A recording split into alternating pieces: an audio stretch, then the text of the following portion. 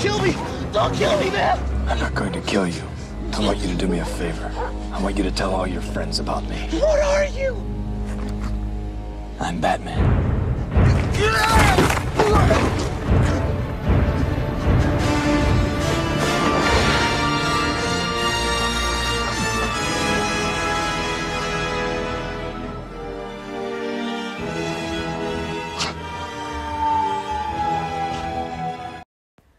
What's going on, my beautiful DC brothers and sisters? It's your boy, The Truth 31. Hit like, subscribe for all that DC goodness on your face, neck, and chest. And man, oh man, I am so pumped to see Michael Keaton come back as Batman. But not only that, I'm excited. To, I'm excited to see an older Michael Keaton. I'm excited to see an older Bruce Wayne because this is something that we've never seen before. We've never seen a Bruce Wayne who is completely past his prime, a Bruce Wayne in his 60s who still wants to be Batman but physically can't. Again, I, this is so reminiscent of Batman Beyond, where the first episode, I think it's titled Rebirth, where we see an older Bruce Wayne still out there, still patrolling the streets, still in a Batman costume, but he can't do it anymore because, again, he's past his prime.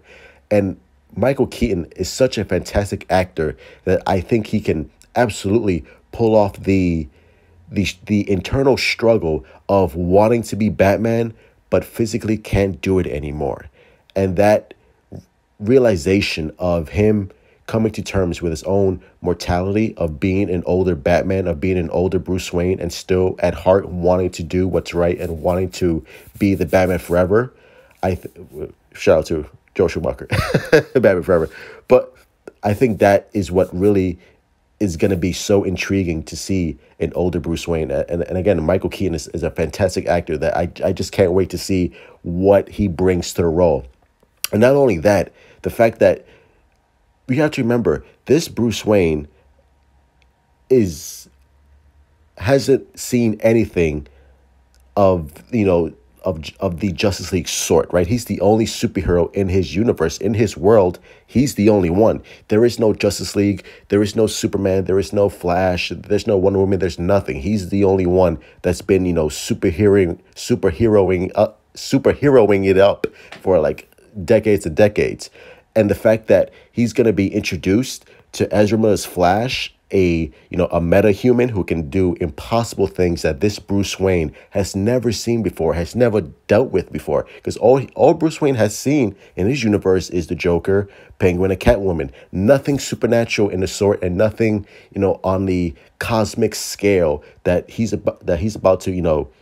Uh, be introduced to, especially like with the concept of the multiverse. Like this Bruce Wayne is gonna be so over his head and so like what the hell is going on that and that's where the comedic element is going to come in and, and obviously Michael Keaton is a brilliant comedic is a brilliant com- comedic actor. So his expression of just seeing a metahuman and, and being introduced to the concept of the multiverse is going to be fucking hilarious.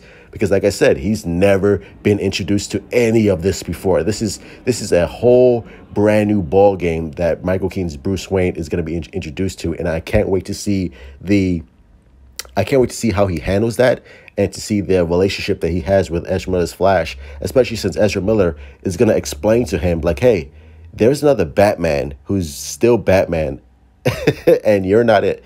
And especially says uh, Michael Keaton's going to be like, what are you talking about? Like, I'm the only Batman. And, and Ezra Miller's Flash is going to be like, uh, no, you're not, bro.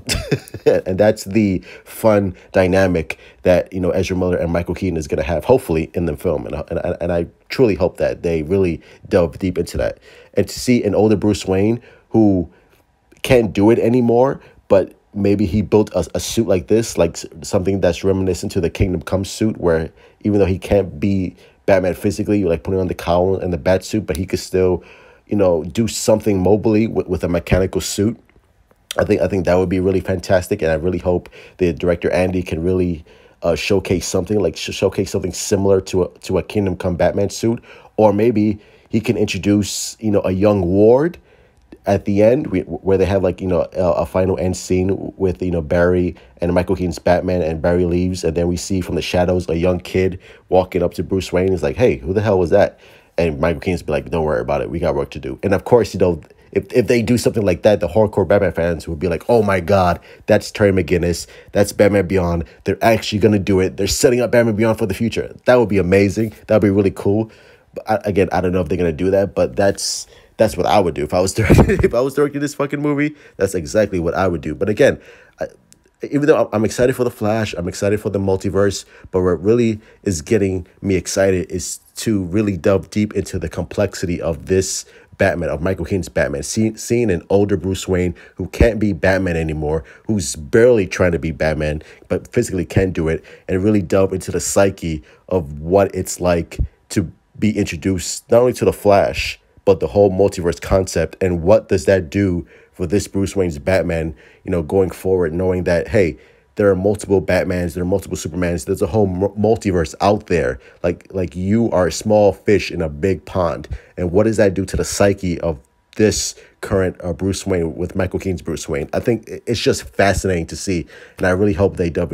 I really hope they delve deep into it. But anyway, those are my thoughts. Smash that like button, my beautiful DC brothers and sisters. Subscribe. Hit me up on Twitter, Instagram. Let's continue having a DC conversation as always. Support DC, love DC, and you're excited to see Michael Keaton come back as Batman. Let me know down in, the comments below because me, I'm excited. I'm really, oh, I, I just can't wait to see Michael Keaton come back as Batman and be the true Batman. Oh, I can't wait. And as always, truth out. Mm-hmm.